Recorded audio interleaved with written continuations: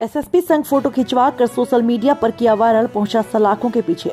हरिद्वार भीड़ का फ़ायदा उठाकर एसएसपी के साथ फ़ोटो खिंचवा कर सोशल मीडिया पर डालना एनडीपीएस एक्ट के आरोपी को भारी पड़ गया।